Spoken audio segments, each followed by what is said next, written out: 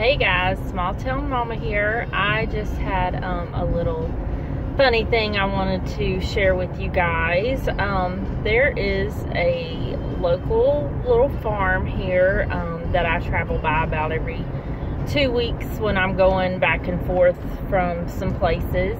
And they have this um, male mannequin that they always decorate differently. And he's never in the same place first time I saw him, I thought there was a guy standing outside.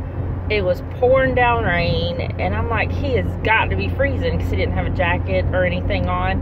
And then the closer I got to him, I realized he wasn't real. so they always do something different stuff for the holidays, stuff just for general everyday life. So I just thought I'd share that with you because I'm going to be coming up on that house here in a moment. So when I get that, I will uh, give y'all y'all's little Valentine surprise that he has offered for us this year. So be a few more moments and we will be seeing that. Okay, we're getting ready to come up on it. So I'm going to be flipping the camera around here.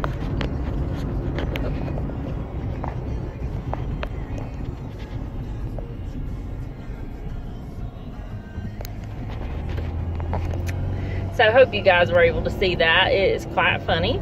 So happy Valentine's Day from Mr. Cupid and hope you all have a great week. That's all from Small Town Mamma. Thanks guys.